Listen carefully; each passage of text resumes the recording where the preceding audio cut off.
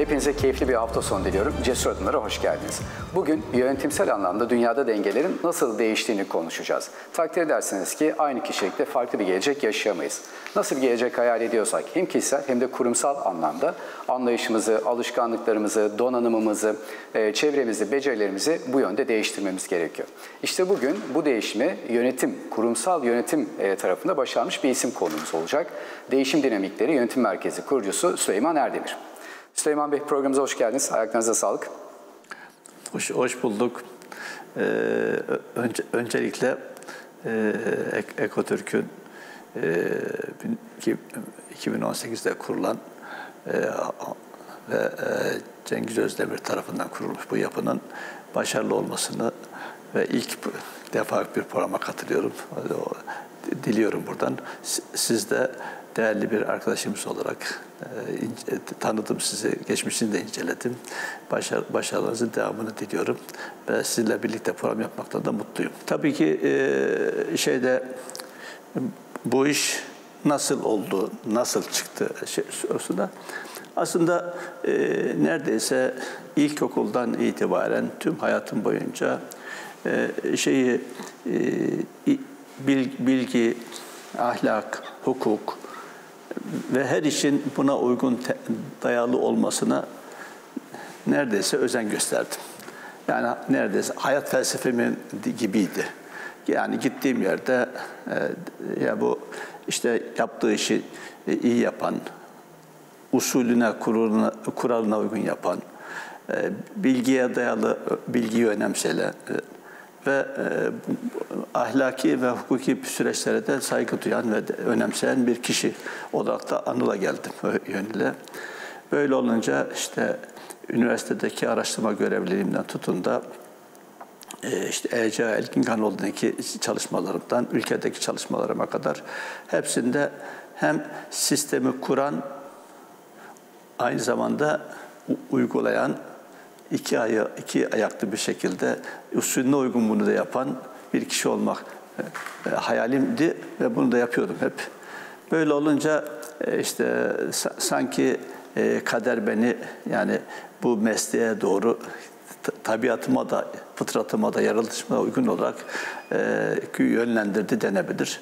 Yani ülke, ülkedeki de, örnek veriyorum çalışmalarımda kurumsallaşma anlamında çalışmalarda ciddi bir katkı sağlayıp Üstelik de rahmetli Sabri Beylerin de desteğiyle o fırsat benim için de aynı zamanda bir fırsattı. Birlikte sonuç da alınca hem motive etti, hem cesaretlendirdi, hem de bir fikir aklıma getirdi. Yani dedim böyle kurum, ülkemizdeki kuruluşlarımızın niye geleceği yok? Özellikle aile şirketlerimizin başka dertleri var. STK'sından devlete kadar kurumlarımızın da başka problemler var. Onlar e, diyelim ki aile şirketlerinin dışındakiler e, verimsiz ve düzensiz. Aile şirketlerinde zaten bu verimsizlik ve düzensizlik aynı zamanda geleceklerinde e, şeye telki attığı için e, ortalama ömrü çok kısa şey itibariyle. İşte orada güzel bir sonuç e, alınca beraberce de işte Yıldız Holding'in de kuruluşundan sonraki belli bir aşamadan sonra ben müsaadenizle ayrılıyorum diye oradan ayrılmamı e, e, kendimi belirttim rahmetli Sabri Ülker Beylere, e, Murat Beylere. Niçin, ne yapacaksın diye sorusuna da ben yönetim danışmanlığı kurum, kurumunu ülkemize taşıyacağım, kuracağım. Tabii herkes tarafından bu biraz e, abartılı Türkiye için abartılı bir proje olarak evet, görüldü. Dönem için e, oldukça vizyoner bir yaklaşım. Ama aynı zamanda takdir gören, iltifat gören, işte e, yani deli cesaretindeki bir iddia olarak görüldü. Ve öyle başladık. Yani ben ülkemize e, değer katan bir iş yapmak olarak gördüm bunu. Evet şunu da görüyorum. Aynı zamanda kişiliğinize, değerlerinize, inancınıza da uyumlu bir iş olmuş. Evet, evet. Yani bunların hepsi bir araya gelmiş, e, kendiliğinden aynen, şekillenmiş. Aynen. Biz bazen e, geleceğe dönük bir şeyler hayal ediyoruz ve bunu gerçekleştirmeye çalışıyoruz. Onu yaparken karşımıza onu başarabilecek bir sürü kaynak çıkıyor, fırsat çıkıyor, insan çıkıyor. Bunlarla temas etmeye başlıyoruz. Zannediyoruz ki onlar biz bu hayali kurduktan sonra karşımıza çıkmaya başladı ama evet. aslında siz çok önceden zaten e, bunlarla temas etmeniz için böyle bir yola sokulmuş oluyorsunuz. Evet. Bu da işin daha tabii biraz daha derin boyutu. Görüyorum ki burada şimdi şirketlere bir şeyiniz var, e, felsefeniz var, anlayışınız var, kendinize e, özgü geliştirdiğiniz yöntemler var. E, çünkü şirketlere sadece farkındalık yaratmak yetmiyor dediğiniz gibi. E, ilham vermek de yetmiyor. Onların önüne böyle ölçeklenebilir, uygulanabilir, takip edilebilir bir yol haritası çıkarmak gerekiyor. E, sizin buradaki yaklaşımınız tam olarak ne oluyor? Şirketlere, hizmet verdiğiniz şirketlere yaklaşırken yönetim anlayışınızı onlara nasıl aktarıyorsunuz? Ya tabii e, yönetim anlayışı de, dediğimizde ülkenin külte, kül, toplumun ve ülkenin kültüründen hatta o sektördeki kültürden hatta o ailenin kültüründen bağımsız bir şey değil aslında. Yani e, çünkü herkes yönetime, işe kendi kültürünce bakabiliyor, bakıyor, bakabiliyor ve bakıyor öyle diyelim şey itibariyle. Bu anlamda farklılıklar var tabii toplumda. Ama biz dedik ki işte evrensel birikimlere, bilgilere dayalı kurumsal ciddi bir yapıyı e, nasıl ülkemizde yaşatır hale geliriz ve kurumlarımıza bunu nasıl anlatabiliriz sorusunda işe başladık. Tabii değer üreten, katma değer üreten ve başarıyı da ürettiği katma değerle anlamlandıran. Çünkü insanlar başarı aslında biraz tehlikeli bir şey. E, tecrübe ve başarı e, uygun yöntemlerle bilgiye dayalı olarak elde edilmemişse aslında hani eski deyimle muanid insanı e, şeye dirençli, olumsuzlukta dirençli hale bile getirebiliyor şey itibariyle. Ama bilgiye dayalı bir güzel bir süreçlerle e, e, hakikaten e, hukuka dayalı bir e, altyapıysa o noktada insana rehberlik yapıyor. İşte biz e, başarıyı işte diyelim ki son, sonuç odaklılığı kavramını bile işte süreçleri önemseyen, değer veren, sonuç odaklı yaklaşım diyerek tanımladık o yönüyle. Yani doğru süreçlerle, doğru yöntemlerle elde edilmiş başarılar hem güzeldir, hem ahlaki, hem de kalıcı ve süreklidir diyerek öyle bir şey yaptık. Evet, şimdi e, burada iki tane kavram ortaya çıkıyor. Biri yönetim, biri yönetişim. Bakıyorsunuz e, iyi bir kurumsal yönetim ve yönetişim e, sadece şirketlere e, maddi anlamda bir kazanç sağlamaktan öte e, arka planda bir girişimle de eşleştirilebilir. Örnek veriyorum bugün ekosistemde, girişimcilik ekosisteminde girişimcilik şöyle tanımlanıyor. E, sürdürülebilir, ölçeklenebilir ve hesap verebilir bir iş modeliyle değerli bir e, iş fikrinin hayata geçirilmesi olarak bakılıyor. Şimdi e, burada bütün bunları sağladıktan sonra aslında şirketlere e, güvenli bir yatırım ortamı da beraberinde getiriyor. İyi bir yönetim, doğru bir yönetim tarzı onlara yatırım yapılabilmesi için hem tüketici tarafında hem de yatırımcı tarafında e, bir alan açıyor aslında. Biz bunu, bu anlayışı yani ölçeklenebilir, sürdürülebilir ve hesap verebilir bir iş modelini nasıl kültür haline getirebiliriz? Siz bunun için nasıl bir yol izliyorsunuz? Aslında e, tabii e, to, toplumun gelişmişlik düzeyine göre hukuk, hukuk işte e, ahlak, sistem, bilgi, iş, ticaret bir, bir, bir bütünsel yapı aslında. Birbirini okay. tamamlayan, hatta destekleyen, hatta birbirini denetleyen hepsi bir bütünsel, bütünsel bir yapı. Eğer siz e, burada e, hepsini e, üstelik de e, kur, kurum, kurumlarımızda yani böyle bir yapı oluştuğunda e, kalıcı, sürekli aynı zamanda sizi de memnun eden, herkesin memnun olduğu bir yapı ortaya çıkara ikna edebildiğinizde aslında ha, biz bunu istiyoruz diye çıkıyor karşınıza aslında. Fakat onda, ondan önce e, herkes haklı olarak yani elimdeki işten mi olurum? Yani e, bizim sektörümüzün de e, henüz e, bir düzenlemesi, kanuni ve, ve her türlü düzenlemesi tam olmadığı için, hukuki düzenlemesi bulunmadığından E, çünkü Dimyat'a Pirincegil derken evdeki buldurgudan olmak anlamında birçok kurum, e, şirket kurumsallaşayım derken de ortadan kaybolmuş. Yani e, yarım yamalak, usulüne uygun olmayan, diyelim ki hani şeye kaç, kaçak doktor olmayana gidip muayene olup ameliyat olmak gibi şey deyip kaybolan, ortadan kaybolan bir şeyimiz var, kurumlarımız var.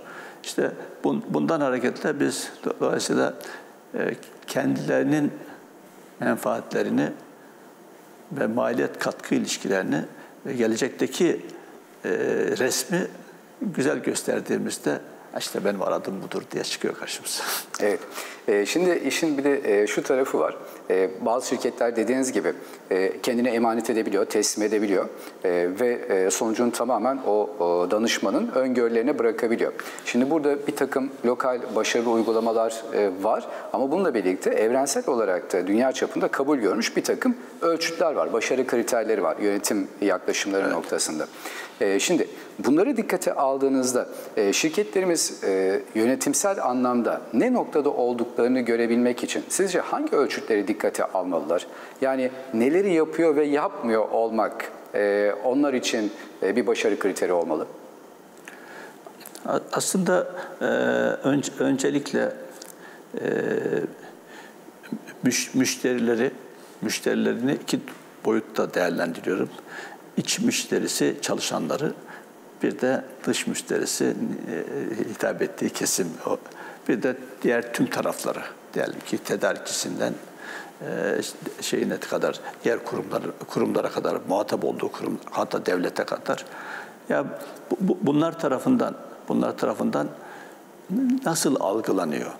Yani diyelim ki ister bunu imaj araştırması yapın, ister bir farklı çalışma yapın güven duyulan benim bu şey kurumun ürününe de, hizmetine de, davranışına da, hatta yolda yürüyen, araba süren elemanına da e, hepsiyle güvenirim diye bir bütünlük varsa ve bu bütünlükte de ortak bir kanaat oluşmuşsa şey itibariyle o zaman o kurum e, ayakta durabiliyor ve hakikaten ben iyi bir kurumum diyebiliyor. Yoksa işte çalışanların memnun olmadığı işte ne yapalım bulduk bir iş çalışıyoruz diye düşündüğü şey itibariyle veya müşterilerin işte en iyisi bu mecburuz bunu almaya ister öyle desin ister en ucuzu bu desin ister başka nedenlerle olsun tedarikçi hiçbir şey olması iyi zamanda para ödüyor diyerek düşündüklerinde. Yani bu anlamda baktığınızda e, bir sürü taraflar var. Hatta müteşebbis de bir taraf o bu noktada.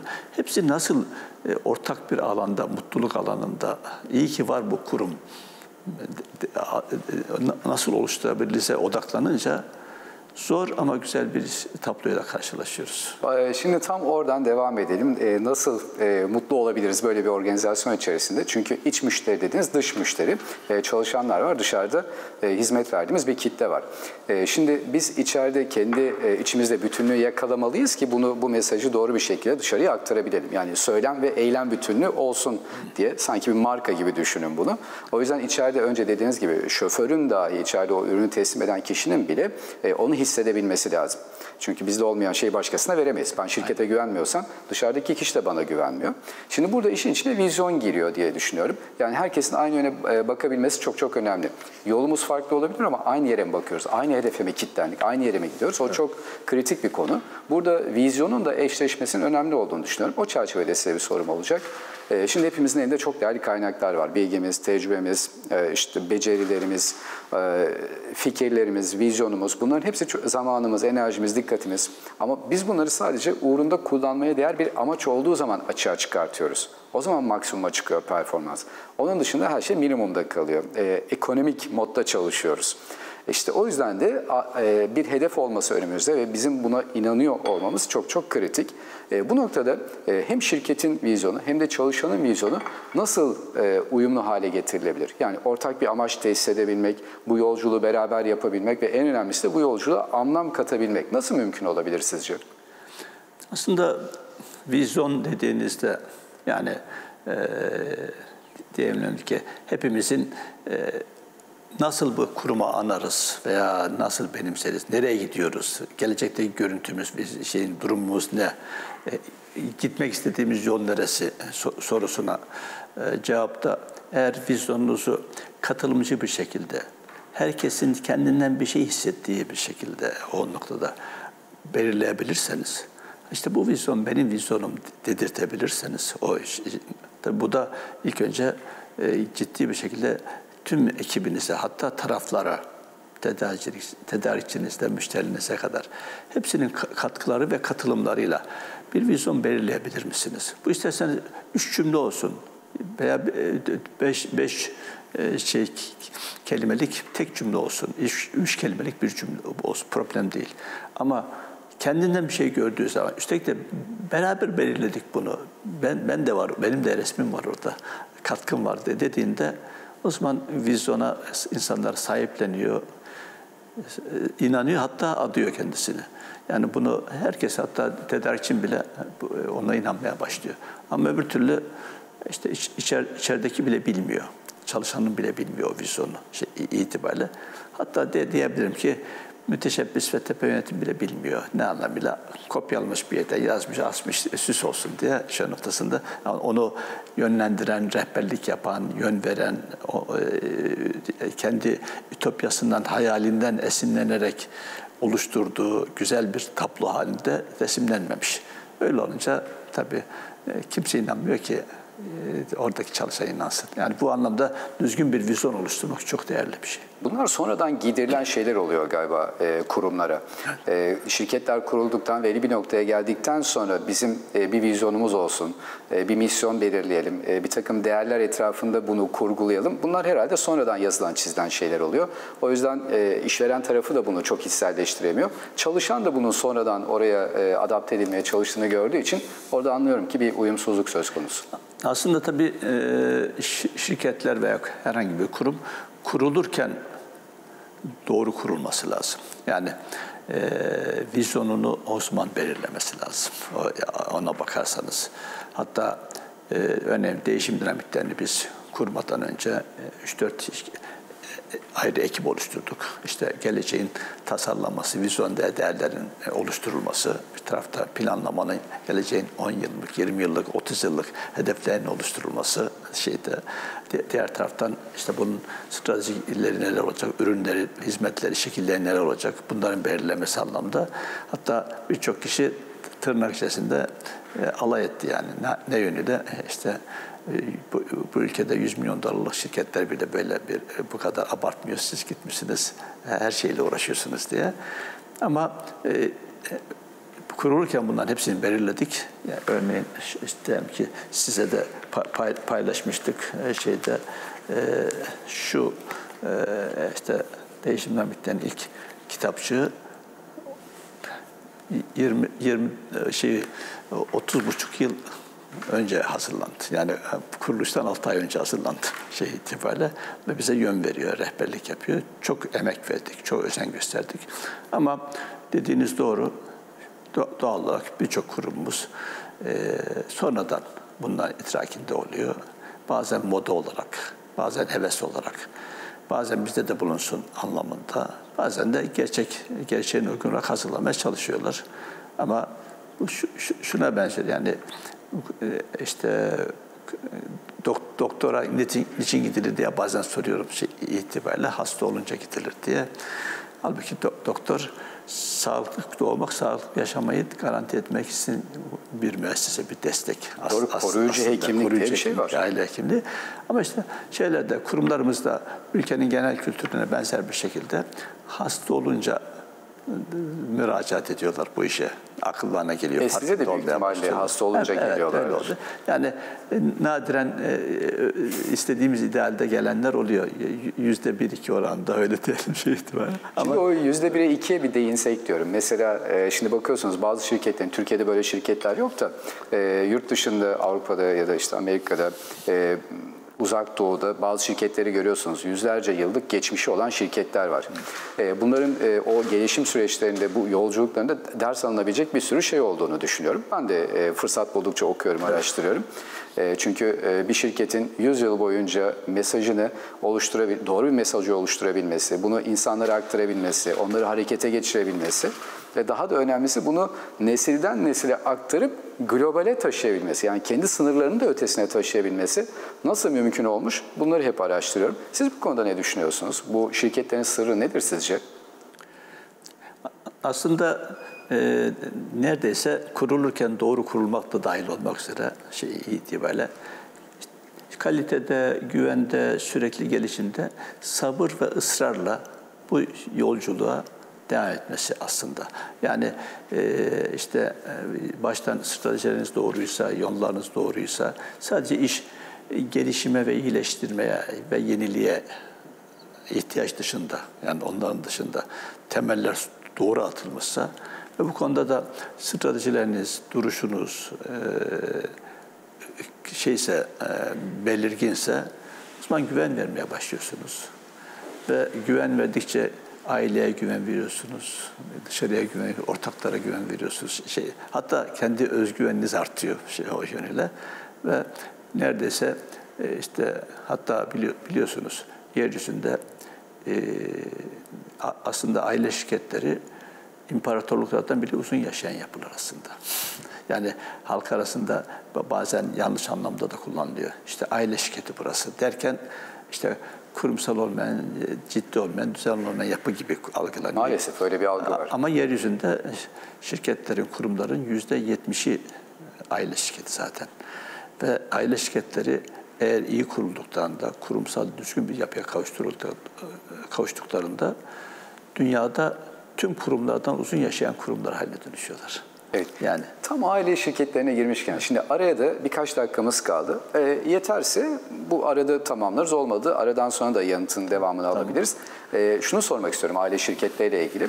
E, bakıyorsunuz e, gerek e, kurucular olsun, gerek e, sonraki nesil olsun, gerekse e, profesyoneller olsun, dışarıdan katılanlar olsun. Onların yönetimde nasıl bir rol alacakları e, her defasında tartışma konusu olur. Şimdi bakıyorsunuz çok da e, güzel uygulamalar var, başarılı sonuçlar alan modeller de var. O yüzden mutlak bir gerçeklik olarak işte şöyle bir model olmalı diyemiyorsunuz. Çünkü başarılı başka modeller de var. E, siz bu olaya nasıl yaklaşıyorsunuz? Aile şirketleri için ideal yönetim şekline ne olduğunu düşünüyorsunuz? Aslında her kurumda işte diyelim ki ortaklar genel kurulu ister bu veya da bir siyasi partide veya bir sivil sivil toplum kuruluşunda üyeler genel kurulu. Bir şey, herhangi bir şey, bir şey değişmiyor şey, itibariyle. Ee, yani ortaklar genel kurulu sonra yönetim kurulu ve e, bu ortakların kanuni varislerinin toplamı sayılacak aile genel kurulu, aile meclisi şey itibariyle ve icra yani yürütme bunlar bir kere ayrı ayrı kavramlar. Hatta e, ölçülebilirlik, hesap verebilirlik de, denklemi itibariyle mümkünse de tümüyle birbirinden bağımsız olmasını sağlamak lazım. Ama tabii ülkemizin gerçekliği içerisinde tedricen aşama aşama ancak gelinebiliyor bu konuda. Fakat tabii e, aile üyeleri ne yapacak? İşte biz babamız kurmuş, biz de burada doğal olarak herhalde çalışmak için, bedavadan çalışmak için kurmuştur. E, aynı zamanda bir iş, işte bize iş de mirası vardır. Yani kurum mirası yanında iş mirası da vardır anlamında bir anlayış da bazen babalarda, ailelerde ve kendilerinde de ulaşabiliyor. Fakat eğer siz profesyonelliği yani e, profesyonel ve kurumsal yaklaşımı bu ayrı ayrı yani diyelim ki aile kurumundan, ortaklar kurulundan, genel kuruldan, yönetim kurulundan, içerideki icradan bunların hepsine kurumsal, ilkesel bir yöntemle yaklaşırsanız profesyonelliği de e, işte sadece işte dışarıdan adamları alıp almak veya aileden birisi olursa profesyonel olmaz diye düşünmek yerine aileden de olsa, dışarıdan da olsa kurumsal prensiplere uygun profesyonel mantıkla çalıştırabiliyor muyuz? Bu anlayışı benimsetebiliyor muyuz? Sorusunun birinci önceliği var aslında. Peki, Bunu bu yaparsak ülkede şey yapabiliriz. Bir e, özellikle bizim ülkemizde bir aşama kat edebiliriz. Yani bunların ayrı ayrı kavramlar olduğunu, birbirine vuruşturulmaması gerektiğini ve işte kimsenin orayı ne derlerim kafasını, keyfinin bir estiği, işi yapacağı yer olarak görmediği bir ortam oluştuğu zaman e, birinci aşama bu. Bunu açabiliriz. E, Bunun için vaktimiz var. Ben kısa bir ara için izin isteyeceğim şimdi Tabii. sizden. E, kısa bir ara için izin istiyoruz. Döndükten sonra da işletmelerimizi bulunduğu yerden olmasını istediğimiz yere nasıl taşıyacağız? Bununla ilgili ipuçları almaya devam edeceğiz. Bizden ayrılmayın.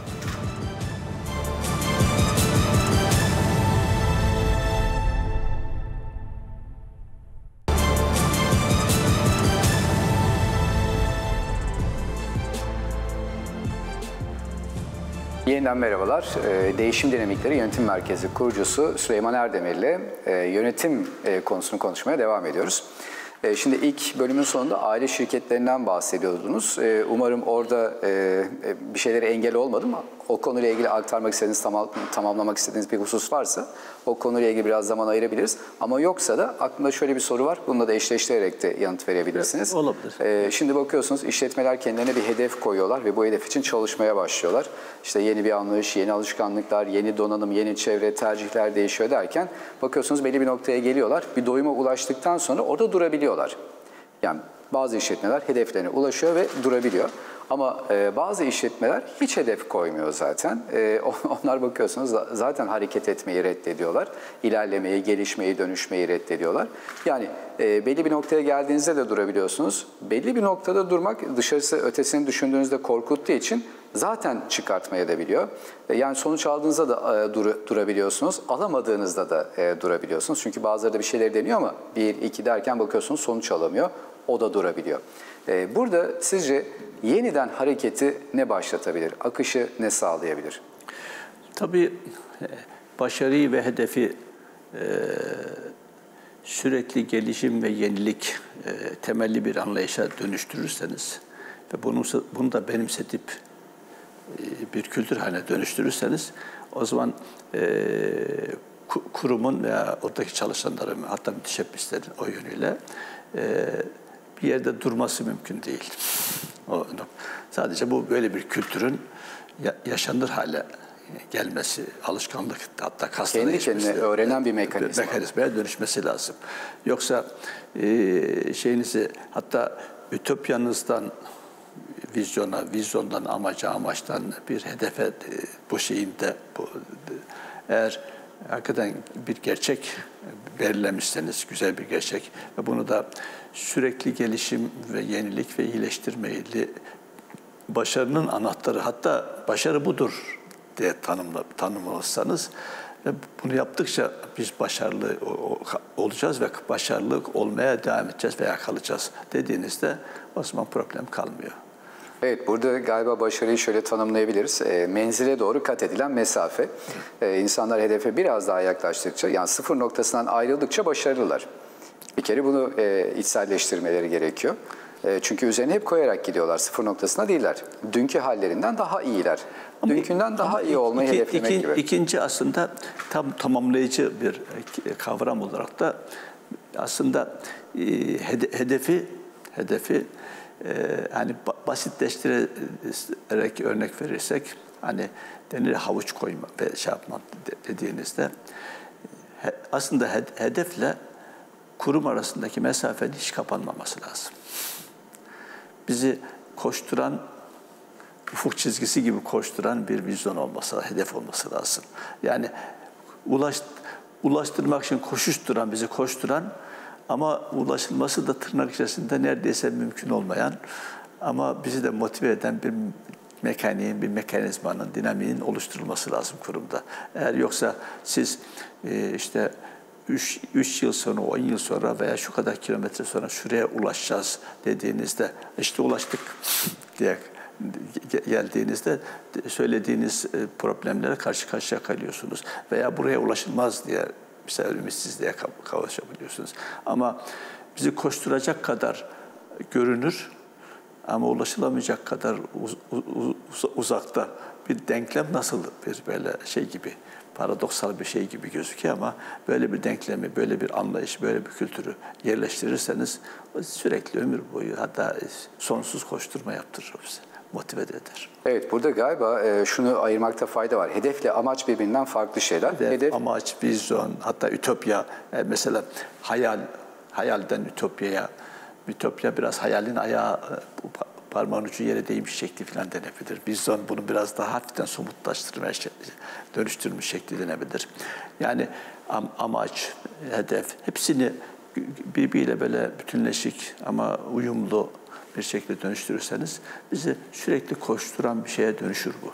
O hiç durmazsınız. Yani diyelim ki Süleyman Erdemir diyor ki mezar, mezara kadar e, koş, koşmam lazım diyor. Yani etrafta ülke kültürü genelde ya bunu ihtirasla neden oluyor. İşte niye bu kadar şey yapmıyorsun artık sen de biraz dinlen diyen oluyor şey itibariyle. Ama bu şey değil, öyle bir şey değil. Evet, hayata geliş amacımız e, gelişim. Evet. Hayatın amacı zaten bu gelişim. Üretmek, değer katmak.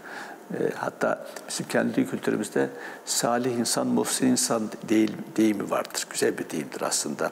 Yani e, değer katan, ürettiğinden fazlasını katan, çevresine, ülkesine ve insanlara bir şeyler bırakan e, ve bunu da çok iyi yapan, iyilikle yapan, insan demek aslında salih ve muhsin güzel bir kavramlardır. Şeyde gündelik hayatımızda maalesef kullanılmıyor ama şey itibariyle bizim terminolojimiz, terminolojimiz de olsa iyi olur şey itibariyle.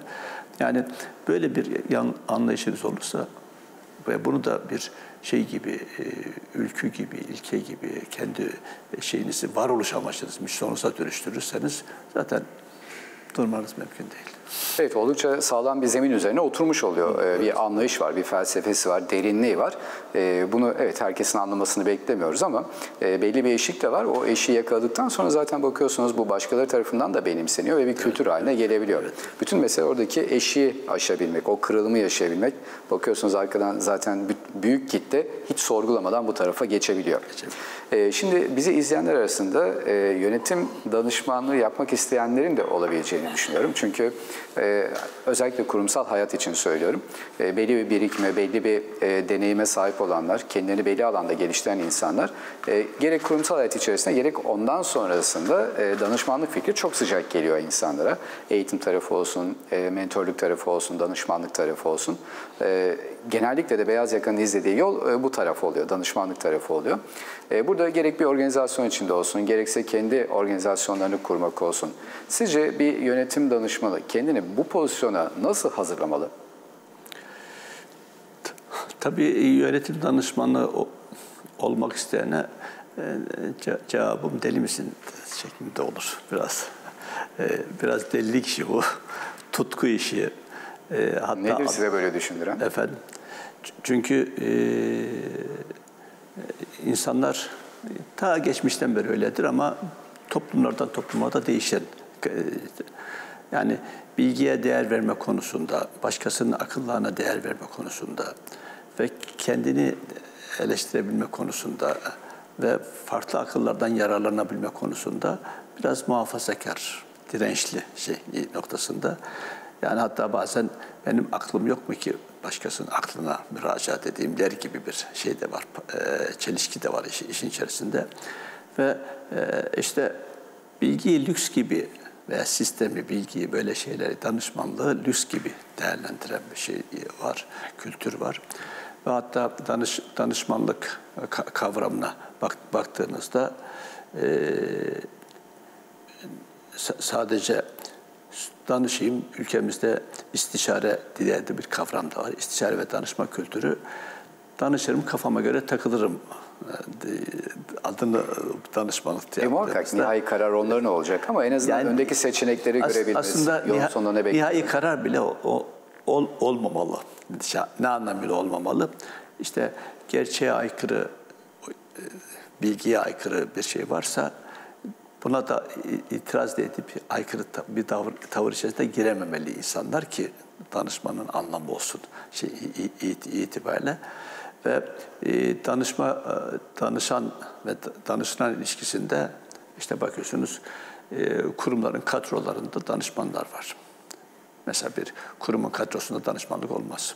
Yani bir e, örneğin sizin kurumunuzda e, sizden maaş alan ve size hizmet eden 10 tane danışmanınız var. Bazı kurumlarda 50 tane, bazen 100 tane danışmanınız var şey, itibariyle. Yani danışman dediğiniz özgür olacak, özgün olacak, bağımsız olacak, yetkin olacak, tırnak içerisinde minnet etmeyecek. Hatta danışmanlık uluslararası standartlar arasında diyor ki bir kurumun veya kişinin e, gelirinin yüzde on beşinden fazlası ödeyen kuruma danışmanlık yapamaz diyor. Değil böyle yüzde yüz onun kadrosunda. Öbür türlü işte benim kadromda danışmanlarım var dediğinizde o, o konuda sıkıntı çekiyorsunuz. Çünkü o danışmanlıktan öte işte de, dediğine itiraz etmeyen işte ne de güzel buyurdunuz, şöyle de güzel olur mu diye arada soran, bunu sorduğu zaman da yüz, karşıdakinin yüzü ekşidiği zaman da yok aslında öyle demek istemiş, sizin dediğiniz gibi demek zorunda kalan bir ilişki zemini oluşur şey itibariyle. Bu anlamda danışmanlık kavramı yani e, hem e, saygı duyan, sahiplenen karşıdakine hatta ona rağmen o işe ve o kuruma sahip çıkan, karşıdakine sahip çıkan ve bunu da yaparken de e, minnet duymadan özgür davranabilen hem ahlaklı hem ilkeli hem de bağımsız, özgür duruş zor bir şey. Ama zor. E, güzel tabii zor. Aklıma da şunu getiriyor. Siz şimdi böyle söylüyorsunuz. Evet e, akla çok yatkın olan şeyler bunlar. Ama şöyle bir durumla karşılaşıyorsunuz. Ben de çalışmış şirketlerde benzer şeyleri sektörümüzdeki herkes gibi deneyimliyorum. O da şu. Şimdi sizin işiniz e, şirketleri bulundukları yerden olmak istedikleri yere taşımak. Bunun için anlayışı, iletişim tarzı, iş yapış şekli neyse bunu o yönde değiştiriyorsunuz. Yeni bir donanım katıyorsunuz onlara. Hatta onlar için bu yolculukta e, görünmeyen riskleri ve e, fırsatları e, onlar için görünür kılıyorsunuz. Ya bu çok kıymetli bir şey. Ama buna rağmen hala o e, riskleri ve fırsatları görmekte zorlanan ya da buna direnen ya da reddeden insanlar var. Onları nasıl kendi tarafınıza çekiyorsunuz, ikna ediyorsunuz? Ya tabii bir, bir önceki soruyla devam ederek şey yapayım. Yani bunu biraz da e, konuyu anlatmak için kullandık. Aslında ülkemizde diyebilirim ki e, bin, binlerce yönetim danışmanına ihtiyaç var. Ve çok değerli bir meslek. Zor bir meslek kabul ama değerli bir meslek. Bunu kendisini de, deliliği adanmışlık ve cesaret ve bu konuda ısrar yapabilecek kadar mesleğine aşıklık anlamda da tanımladım. Dolayısıyla deli misin sorusuna e, evet deliyim diye cevap verecekler. Tutku, adanmışlık Tutku, diyelim. Öyle, öyle ta, ta, ta, tarif edelim. Tabii e, bu iş için bilgi gerekiyor, tecrübe gerekiyor, e, sonra ahlak gerekiyor, süreklilik gerekiyor, tutarlılık gerekiyor. Bunların hepsine top, e, ortaya çıkan bir güven gerek, gerekiyor. Der diyor ki hani denir ya bazen e, söyle e, aynı sözü söyleyenin ve farklı kişiler tarafından söylenen aynı sözler farklı etkiler oluşturuyorlar. Çünkü anlam farklılıkları oluşuyor, o etki farklılıkları oluşuyor. Bu, bu çerçevede bunun hepsini bir arada yapan arkadaşlarımız kazanırsak o, o konuda hakikaten ülkemiz de kazanır.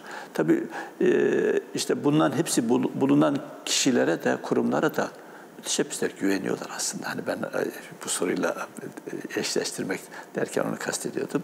Yani e, eğer bu varsa arkanızda şey noktasında baktığında hatta gidip 10 kişiye sordu. Onu da biz güveniyoruz dedi. İşte rakibine sordu, güveniyoruz dedi. İşte yanında çalışanına sordu, güveniyoruz dedi.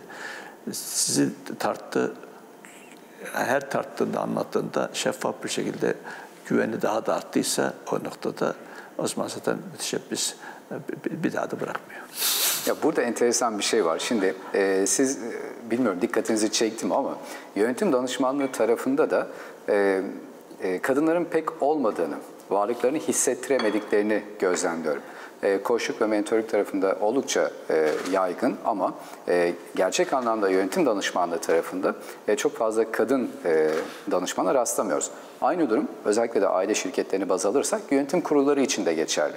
Şimdi kadının biraz da iş dünyasındaki yerini e, konuşmak adına şöyle bir şey soracağım. E, özellikle şey kısmını, yönetim kısmını biraz açalım istedim. E, bakıyorsunuz şirketlerde e, yönetim kurullarına çok fazla kadına rastlamıyoruz. Türkiye'de son dönemdeki aşırı çabadan e, kaynaklı işte %16'lık bir oran var. Ama Avrupa'ya bakıyorsunuz ortalaması %25. Bazı ülkelerde %40'lara varabiliyor e, kadının yönetim kurulundaki temsil oranı. E, şimdi bazıları işte kotalarla ve yaptırımlarla bunu sağlamışlar ama İzlanda, İsveç, Norveç gibi ülkelerde, e, Kanada gibi ülkelerde bakıyorsunuz buralarda herhangi bir yaptırım yok, herhangi bir kota da yok. Ama yine %40'ları yakalamışlar kendi inisiyatiflerinde. Sizce onlar neleri bizden farklı yaparak bunu bir tartışma konusu olmaktan çıkarmış olabilirler? Türkiye'de hatta şununla da bağlayayım. Türkiye'de bunun kırılması noktasında direncin nerede olduğunu görüyorsunuz? Aslında e, böyle derin, derinden gelen bir direnç var. Yani e, hatta ben birçok kurumda kadınlarla erkeklere eşit fırsat, eşit imkan, eşit konum, yer verelim diye şey yaptığımda, e, ısrar ettiğimde o yönüyle fırsat verelim, şey yapalım. Sonra hiç kotaya motaya da gerek olmaksın şey olan, e, pozitif ayrımcılığa da gerek olmaksın layık olan önde bulunsun anlamında. E, bazen ilginç bir şekilde kadınlar itiraz ediyor. Kadınlar böyle de gerekir mi diye der gibi. Yani bu derinliğini anlatmak için söylüyorum şey itibariyle. Hatta bir, bir, bir, birkaç yerde e, ilk itiraz edenler ailedeki ailedeki kadınlardan olduğunu rastladım itibariyle. E, ne, yani ne yatıyor sizce temelinde yani, bu itirazın çıkışı? Bu, bu, burada e, kökleş, kökleşmiş bir şekilde o yönle bak, baktığınızda şeyler var. Yani e, kadına biçilen rol açısından olsun, e, kadının hayatın dışında olmasından kaynaklanan işte kadın işte günlerde bulunur, şurada bulunur, burada bulunur. Öte tarafta dolaşır, bir yemek yapar, başka şeyler yapar an, anlamında. Biraz kolektif bilinçten bahsediyorsunuz. Orta, Kadınla evet, ilgili tanımlardan yani bahsediyorsunuz. O, o, o, o noktada e, yani e, işte birbirini tamamlayan insanın olmazsa olmaz iki eşit parçası, farklılık tamamlayıcı, iki yüzü anlamındaki özelliklerinden öte işte e, arka yüzü veya alt yüzü veya altı gibi o, o, anlamda sayılabilecek bir şey var. E, arka plan var, sıkıntı var o, o yönüyle. Böyle de olunca Önce işte, bakış açısının değişmesi evet, gerektiğini bakış, söylüyorsunuz. Bakış açısının de, değişmesi gerekiyor. E, tabii burada da bir sefer bazen ter, tersine işte e, hanımlara hak etmedikleri halde şu, şuraları verelim anlayışıyla hak etseler de ne iş var burada anlayışının çatışması sayılabilecek çelişkiler de ortaya çıkıyor bazı noktasında. Halbuki olabildiğince doğal, insani baktığımızda işte Allah'ın yarattığı iki tane, birbirini tamamlayan iki tane kişi, insan, eşit. Hatta bizim tane şeyde Allah katında en şerefli olanınız, etkili olanınız, Allah katında en kerim olanınız, en titiz olanınız, müttaki olanınızdır, değerli olanınızdır. Başka bir artı özelliğiniz yoktur. Kadın veya erkek fark etmez. İlkesi yerine biz şey ilkesini uygularsak kendi e, toplumumuzun e, kazandığı olumsuz kazanımları şey itibariyle onun baskısıyla hareket edersek o zaman insan gibi, tırnak içerisinde eşit insan gibi görmediğinizde bu sefer korunmaya muhtaç insana dönüşüyor veya itilmeye muhtaç veya gerekli öne çıkması, eşit kul olarak çıkmasına müsaade edilmesine ihtiyaç olmayan, e, hatta edilmemesi gerekene dönüşen çelişkilerle oluşuyor. Bu belki ilk önce anlayışın, yaklaşımın e, bu konuda değişmesiyle mümkün. Yani burayı şu e, işte e, ben hani kadınlara ayrıcalık yapılmasından da ayrımcılık yapılmasından da çok anlamlı bulunuyor. Liyakat tarafındasınız. Evet. Hakkaniyetle. Evet, hakkaniyet. e, sadece sayı eşitliği değil. Burada hakkaniyet e, İnsan, insanca, eşit yani eşit fırsat, insanca davranış ve burada işte hatta yani yeryüzünde bunun tartışmaları oluyor işte şeyde bile özgeçmişinde bile müracaat ederken e, oraya cinsiyet de belirtmesin, adını da belirtmesin, hatta şey deyimlerindeyse ayını da belirtmesin ki burcunu da yapmasın, dinini de belirtmesin. Tartışmanın temelinde aslında acaba e, mu, muameleyi eşit yapabilir miyiz? E, yani liyakata, ehliyet ve liyakat temeline oturtabilir miyiz anlamında. Tabii sapmalar, yanlışlıklar ayrı bir kavram, kötüye istismarlar ayrı bir kavram ama te- temelde insanlık böyle bir arayış içerisinde bunu nasıl dengeleyebiliriz? diye yani o, onu düzeltmek lazım diye düşünüyorum. Evet. Ee, şimdi sonlara geliyoruz. Birkaç dakikamız kaldı sadece. Ben de son soru hakkımı şundan yana kullanmak istiyorum. Ee, sizin de bakış açınızı, anlayışınızı, inancınızı, değerlerinizi yansıtan e, bir takım e, sosyal, e, e, sivil toplum kuruluşlarında rolleriniz var, aktif rolleriniz var. E, kiminde e, yönetim kurulu üyelikleriniz, kimilerinde başkanlıklarınız var. E, bu konuda oldukça ciddi çaba sarf ediyorsunuz, aktif rol oynuyorsunuz. E, bu organizasyonlar altında yaptığınız, ayrım gözetmeden yaptığınız şeyler de sizin kişisel tercihlerinizin ötesine geçebileceğinizi gösteriyor. Bu olgunluğa sahip olduğunuzu gösteriyor. Peki çevrenizdekilerde e, bu etkiyi nasıl yaratıyorsunuz? Yani onları da e, sosyal e, etki yaratmak üzere e, bu tür toplumsal konularda sorumluluk üstlenmeye, risk almaya, çaba sarf etmeye nasıl ikna ediyorsunuz? Nasıl çalıştırıyorsunuz o insanları? Tabii burada e, sivil toplum kuruluşu dediğinizde, yani gönüllü teşekkürler, kurumlar dediğinizde, e, top, toplumdaki bunlara verilen rol ve yer konusunda da şeyler var. Yani e, hatta e, birçok bir kurumumuz, birçok kurumumuz işte so, sosyal sorumluluk ve benzeri kavramları e, neredeyse e, PR'ın bir parçası, hatta Doğru. daha ötesi reklamın bir parçası. İtibar yönetimi kapsamında ha, yaptığı çalışmalar hatta, oluyor. Yani ondan da öte bir çıkarcı, istismarcı bir yaklaşımlar. Hatta bu anlamda yanlışlarına yanlışlarını kapatma ve perdeleme teknikleri dahil olmak üzere işte bu çok katlar adam ama bak şurada da hayır yapıyor veya güzel yapıyor der gibi veya şu yani birçok yanlışlar yapıyor ama şurada da bak e, el şey yapmıştı. Günah çıkartıyor. Günah çıkartıyor noktasında. İşte sivil toplum kuruluşları da böyle anlayışın günah çıkartılan alanları gibi ol, ol, olunca Sefer bağımsız, özgün e, bir sivil toplum anlayışından öte şey itibariyle ba, ba, bağımlı birilerinin bu şeylerini örgütleyen organizasyonlar gibi ya dönüş, dönüştüğünde sıkıntı oluşuyor şeyde top, toplumda. Aslında biliyorsunuz sivil toplum kuruluşu aslında şeyde ülkelerde gelişmişlik ölçütlerinden bir tanesidir. Yani ne kadar örgütlü sivil toplum yapısı var bu hakikaten de sivil şey noktasında ve bunlara en azından o toplumdaki her bir kişi farklı farklı konularda 4-5 tane sivil toplum kuruluşuna üye ve aktif destek veriyorsa aslında bu gelişmişlik ölçütlerini bir sonra kullanıyor şey, şeyimizde. Ama e, tabii bu iş olmayınca böyle bir anlayış yani e,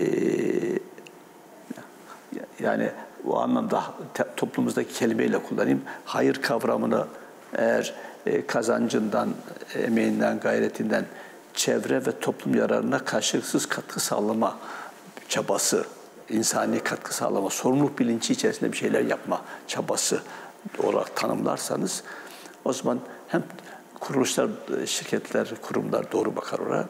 Hem de sivil toplum kuruluşları yeri güzel zemine oturur. Ama bu ikisinin ilişkisi sıkıntılı bir ilişki. Bu kültürel şeyden kaynaklanan sıkıntılar var. Yani ben evet. bu bunu da kendim buna şey yaptığım için 4-5 e, tane sivil toplum kuruluşunda farklı farklı aynı anda destek vermeyi, içinde bulunmayı ve bunu da bu anlayışla hizmet etmeyi ilke edindiğim için e, hoşuma da gidiyor. Örnek olması açısından çok çok kıymetli. Evet. Ee, çok teşekkür ederiz. Biz programın sonuna geldik. Ee, keyifli bir sohbetti. Çok da hızlı aktı. Ee, aklımda sorular vardı ama umarım başka bir zaman, e, başka bir oturumda onlara da yanıt ararız sizinle birlikte. Son bir cümle için size söz verebilirim. Sonra izin isteyeceğim. Tabii e, kurumlarımıza, ülkemize güzel bir miras bırakırsak bu mirasımız da hakikaten daha yaşanılabilir, daha medeni, daha güzel bir ülkene ne kadar katkı sağladık bunun oluşması için dersek ve bu katkımızda işte biz böyle bir değerleri bıraktık ve yaşanır hale getirdik diyebilirsek o zaman vazifemizi yerine getirmiş oluruz. Ve ben de böyle bir mirası örgütlemeye kendi kurumumda çalıştım. İnşallah sanki başardık. İnşallah. Ağzınıza sağlık. Çok değerli mesajlardı. Herkesin kulağına küpe olacağını düşünüyorum. Tekrar teşekkür ederiz. Ben de teşekkür ederim. İzleyicilere de herkese de hayırlı olsun. Sizi de tekrar tebrik ediyorum. Güzel, teşekkür ederim. Başarılı çalışmalarınız için. Çok sağ olun. Evet programımızın sonuna geldik. Benim çıkarımım şu oldu. Üç tane kritik soru. Bir, işletmemiz bu noktaya ne getirdi? E, iki, bizi burada tutan şey ne? İlerlememize ne engel oluyor? Üçüncüsü de biz işletmemizi nereye götürmek istiyoruz? Buradan nereye gideceğiz? Bu üç soru nasıl bir gelecek yaşayacağımız konusunda da belirleyici olacak. Bunu hem kişisel hem de kurumsal anlamda kendimize sıkça sormamız gerekiyor. Siz bu soruları yanıt ararken hepinize keyifli bir hafta diliyorum. Bir sonraki programda görüşmek dileğiyle sağlıkla kalın.